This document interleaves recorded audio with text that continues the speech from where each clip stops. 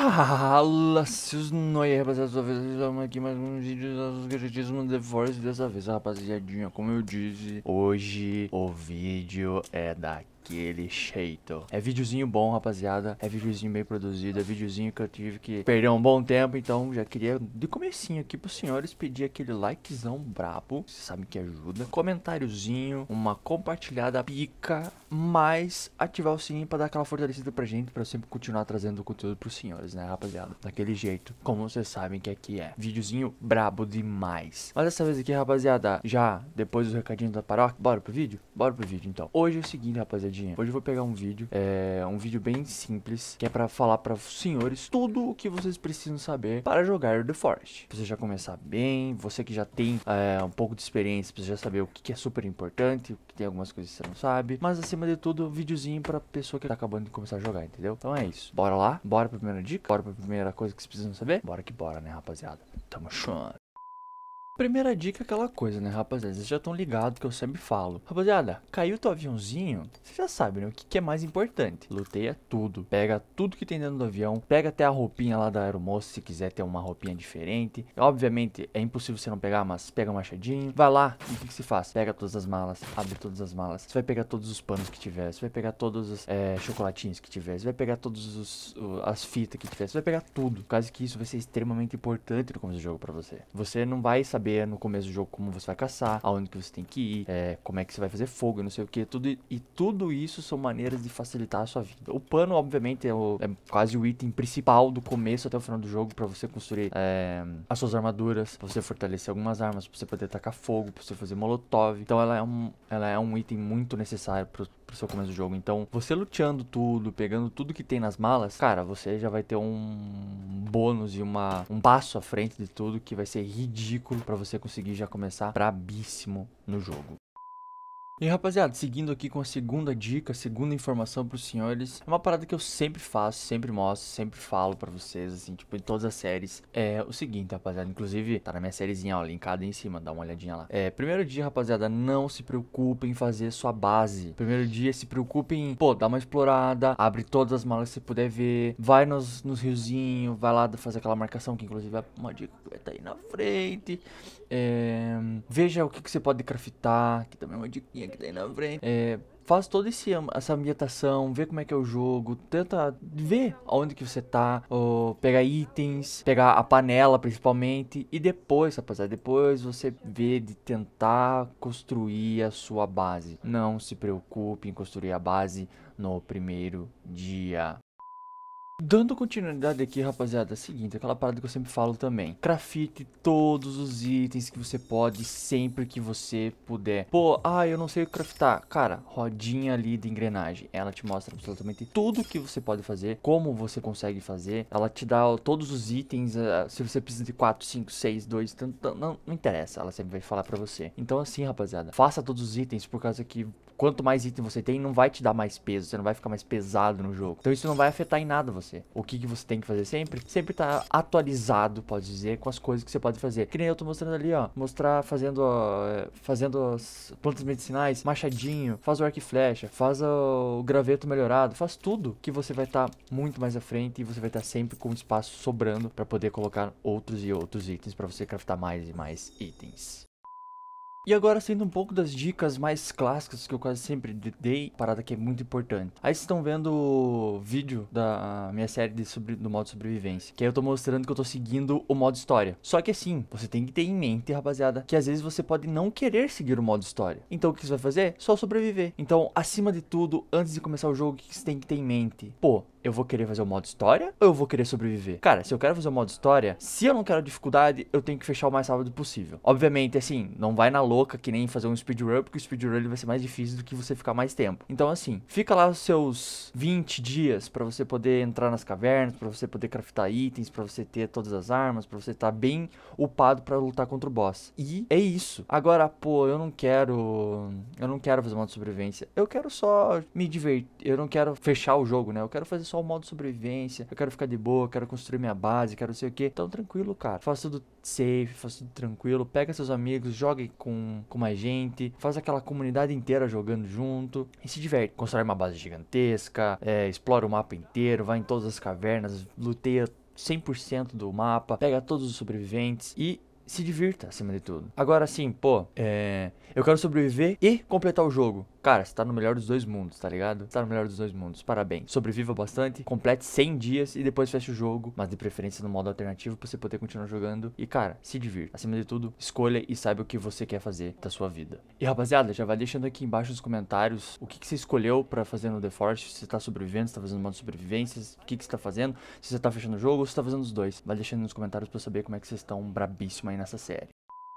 E agora, rapaziada, antes de continuar com as outras dicas, aqui é o, a dica que vai ser o quarta caminho entre elas, né? Cara, saiba que o The Forest Map vai ser um dos, se não for o seu melhor amigo. Sei como vocês estão vendo aí, eu sempre falo pros senhores pra vocês entrarem no The Forest Map, que ele vai te ajudar demais, porque ele vai te mostrar onde tem planta, onde tem os bichos, onde tem canibal, não sei o que. E aí, rapaziada, tá querendo construir tua base? Olha bem tá os pontinhos vermelhos, faz uma lin um link, tipo, de uma, uma reta, faz uma reta entre eles ali, e aí vocês vão saber aonde que é o caminho de rota deles, e aonde eles não vão spawnar, ou vão spawnar, onde vai ter planta medicinal, onde vai ter animal, onde vai ter água, porque o The Forest Map, ele tem todas as informações possíveis no jogo. Claro, tem aquelas questões de random, de às vezes, pô, aqui vai surgir uma planta tal, no meu jogo surge aqui, no outro jogo surge lá e acaba sim, sim mudando de, de jogo para jogo. Mas ele sempre vai mostrar certinho onde tem as plantas, onde tem os animais e tudo mais. Então, assim, sabe de uma coisa, rapaziada? Você tá meio perdido, tá com medo de avançar demais? Usa o The Forest Map, ele vai te ajudar a você saber onde tem caverna, onde que você vai poder fazer uma, uma base boa, onde você não vai se preocupar tanto. Então, assim, pegue aqui no link e rapaziada, aproveite, vale muito a pena.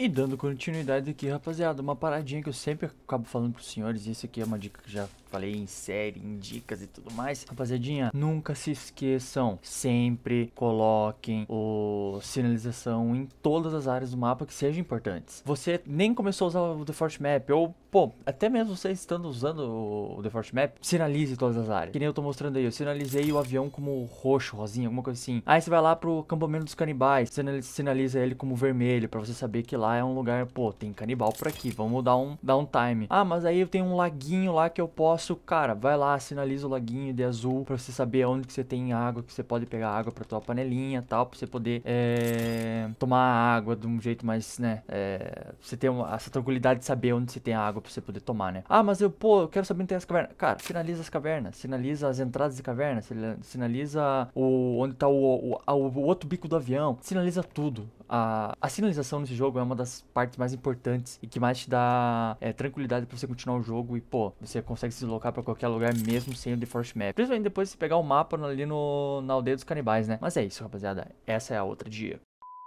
E agora uma informação super importante, rapaziada. Não comam qualquer coisa que tenha no mapa. Vocês estão vendo aí agora, eu tô indo comer essa plantinha. Cara, o que acontece? Dano, exatamente. Todas as plantas aqui, elas têm seus próprios é, efeitos, né? Às vezes elas vão te dar cura, tipo a babosa, ela, você tira todos os efeitos de debuff, né? De infecção, é, todas as coisas ruins a babosa tira. É, o cravo de defunto, se eu não me engano, ele não faz nada, mas ele recupera a tua fome. E como vocês podem ver agora que eu vou mostrar, rapaziada, olha os debuffs ali, ó. Infectado e doente. Esses são os efeitos que acontecem por a gente comer é, a plantinha vermelha, a plantinha branca, que são aquelas frutinhas, ou os cogumelos. E uma coisa que eu não, ainda não falei, mas que eu também não costumo falar, é não. tomem água do rio ou do lago diretamente, porque ela tá, ela como é que é? Ela não tá limpa. Então você precisa, por isso que eu sempre falo que a panela é super importante. Você precisa da panela para você poder tomar água, por causa que a água normal ali, ela vem com infecção daí. Ela já te dá infecção e doença. Então já é dois debuffs que além de você perder vida, além de você ficar com fome mais rápido, você fica com menos força. Então você fica muito mais fraco para poder bater de frente. E aí mostrando também como a babosa depois que você come, ela faz o efeito de tirar os os debuffs, por causa que ela é a, a principal planta de cura do jogo. Ela comendo sozinha, ela tira os debuffs e junto com outras plantas como o cravo de fundo e tudo mais, você faz os seus projetinhos de cura pra próxima dica, rapaziada, uma coisa que eu já venho falando há um tempo pros senhores, principalmente da minha série que está linkada aqui no card, é o seguinte, rapaziada. Após o primeiro dia, como eu tava passando as dicas do que não comer, do que fazer, não sei o que, no segundo dia, quando você começar a fazer a tua casa, tua, tua base, não se preocupe em fazer uma gigantesca base. Se preocupe em fazer a única coisa que te deixe seguro, algo que você possa dormir, algo que você possa se, se proteger dos canibais. E só. Não precisa fazer uma coisa gigantesca, é, muitas proteções, armadilhas e tudo mais. Não. Entra lá no The Forest Map, veja o negocinho, veja onde que tá bom pra você poder construir, veja onde não é caminho de canibal. Constrói a tua basezinha tranquilo, faz lá em dois, uns 3, 4 dias. Se for perto do barco, melhor ainda, por causa que daí nas primeiras noites você pode ir lá pro barco dormir, depois você volta para construir de novo tua, a tua base. E outra dica também, rapaziada, você é iniciante, não tá conseguindo bater de frente com os canibais e também construir a tua base, cara, simples, desliga a destruição. Coloca lá no, no menuzinho, como eu tô mostrando agora, que é, vai no, naquele setorzinho que tá ali, assim, ó, pra desativar a destruição de, de, de, construção. Que daí os canibais vão chegar e vão marretar de porrada a tua base e não vai acontecer nada. Vai ter tua base tranquila, segura e você não vai ter que ficar gastando tempo construindo é, proteção e tudo mais, entendeu? Então, bora pra próxima. E agora com uma penúltima dica que a maioria das pessoas deixam de lado porque acham que não é importante nem nada. Rapaziada, tomem banho. Tomar banho é importante, hein? Tomar banho é extremamente importante aqui no jogo. O que o jogo fala ali sobre você tomar banho, por causa senão você pode ficar infeccio, infeccionado por causa do sangue, cara, é verdade. A infecção vem e a prova tá aqui. Como vocês estão vendo ali, eu tô com debuff de infecção por causa do sangue. Assim, pode parecer meio sem sentido, não sei. Na minha cabeça não faz muito sentido. Mas desde o primeiro dia que eu vi essa informação escrita ali, que, pô, pô se der a... se eu continuar com sangue eu vou ficar infeccionado, eu sempre fui tomar banho. E eu nunca tive esse problema. Eu fiz o teste e realmente você fica infeccionado. E ele te faz você ficar com mais fome. É a mesma questão do infeccionado da, da, das plantas. É, você fica mais rápido com fome, você toma dano, você pode morrer. Então é sempre recomendado que você tome seu banho para que você evite qualquer problema a mais. E por último, mas nem um pouco menos importante, rapaziada, acompanhe todos os vídeos do canal. Tem a série de dicas, tem a série de modo sobrevivência, modo normal, a que eu tô fazendo agora de modo difícil. A, a série de, de dicas, ela vem sendo atualizada sempre, diariamente. Diariamente também não, opa, vamos com calma, né, Zé? Toda quarta, toda sexta, algum dia desses, nunca me lembro. Mas para poder fortalecer vocês a continuar no jogo de uma maneira mais tranquila, né? Existem lá dicas muito mais específicas sobre onde pegar machado, onde pegar isso, pegar aquilo, como construir a base, como fazer. Então, são dicas assim, rapaziada, que vão te ajudar muito a você conseguir começar bem no jogo, a você desenvolver cada vez mais a sua, a sua capacidade no, dentro do jogo, de lutar contra, de construir base, de saber onde que é melhor, onde que é pior e tudo mais. Tem inclusive um vídeo de 7 dicas é, mais importantes para quem for jogar The Forest. Então, assim, todas essas são dicas. o canal inteiro tem várias dicas, né, para The Forest no geral, que podem te ajudar muito e vão te ajudar muito durante o jogo. Tem dicas, inclusive, de outros jogos ali, Days Gone, eu sei, e outras outras coisas, mas o foco é The Forest, então acompanhem, vejam as séries, a do normal, a do sobrevivência e acompanhem a do difícil agora. Deixe seu like, comente, compartilhe para dar aquela fortalecida pra gente como sempre, sabe? Porque daí eu vou conseguir trazer cada vez mais conteúdo para vocês e ajudar os senhores cada vez mais.